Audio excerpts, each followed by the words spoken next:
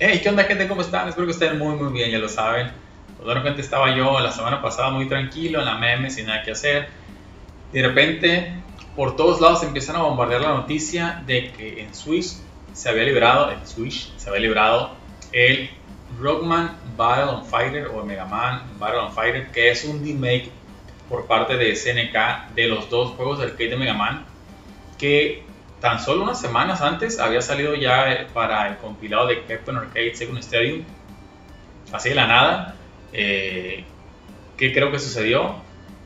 Los mejores juegos vendidos de forma individual son los dos juegos de Mega Man para este compilado. Entonces SNK haber dicho, hey, yo tengo uno de esos, a mí también me gusta el dinero, pues ahí les va. Y este juego es bueno tenerlo porque nunca había salido ningún tipo de compilado fuera de Japón. O sea, este juego está exclusivo para Neo Geo Pocket Color. Y ya, no hay más. No era la única manera de jugarlo. Existen los rooms, estoy de acuerdo, pero yo, yo, me, yo me refiero de, manera oficial en alguna plataforma actual, de manera legal. Y no, no había. Entonces es una gran noticia. Es cierto, el room no, no está traducido, no está regionalizado sin embargo, eh, no es complicado, o sea, las, opciones son pocas. Tiene un manual en inglés que te indica las, las, opciones de cada botón, las opciones del menú. Y está a un precio bastante accesible de 8 dólares.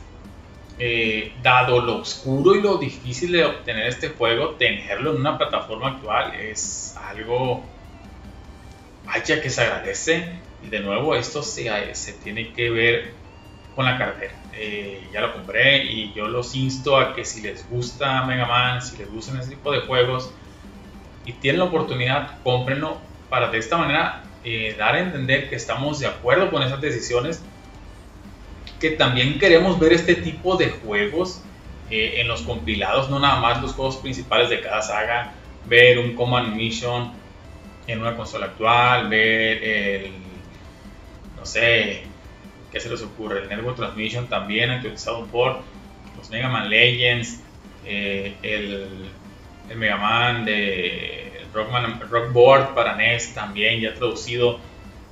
No nada más queremos los, los números, los juegos numerados, los, las entregas principales, también queremos los spin-off, los queremos de manera actual.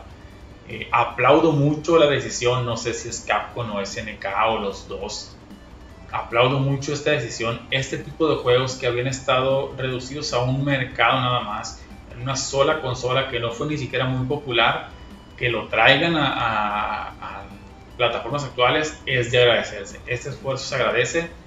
Se hubiera agradecido más si el juego hubiera venido traducido, localizado, pero bueno, eh, da menos una piedra que esto y la verdad es algo increíble. Ya lo jugué, es básicamente el mismo juego, solamente con gráficos, digamos, de, Nintendo Game Boy Color. Eh, los enemigos tienen las mismas debilidades, obviamente los, los, los, sprites se ven un poco más reducidos, pero se entiende por la consola y la pantalla que era. Eh, hay otras opciones, aquí no tienes un botón para cambiar el arma, sino que lo cambias por, por el menú donde está. Cosas mínimas, sin embargo, a grandes rasgos es el mismo juego. No imagino haberlo tenido en su momento para una plataforma portátil. Debe haber sido increíble haber, desde saber que tú tenías dos juegos de arcade, su versión portátil, así como los juegos de SNK, los Kino Fire que sean para Game Boy Color y Game Boy normal, tenerlos de manera portátil de niño o de adolescente hubiese sido increíble. Estoy muy muy contento, estas semanas han sido muy buenas. Esto solo aumenta mi hype por el 35 aniversario, finales de, este 2022.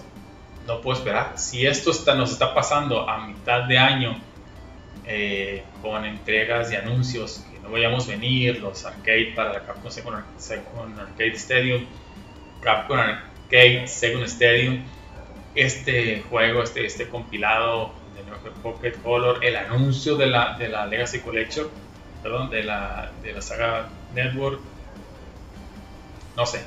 Creo que estamos, creo que en algún momento del 2022 cambiamos a, la realidad alterna buena y estamos teniendo muchas cosas que la verdad se agradecen. Eh, espero que esto siga así. Me agrada recibir noticias sobre Mega Man y noticias buenas. de vez en cuando que no se cancelen juegos y que sí se nos, se nos den cosas se siente bien. Eh, se siente muy, muy bien. Eh, no sé, ya lo probaron, ya lo, van a, comprar, lo van a jugar. ¿Qué les pareció? ¿Les, ¿Les llama ese tipo de juegos? Déjenme en los comentarios, la verdad es que me gusta mucho verlos. Y sin más, nos vemos en el siguiente video. Hasta luego.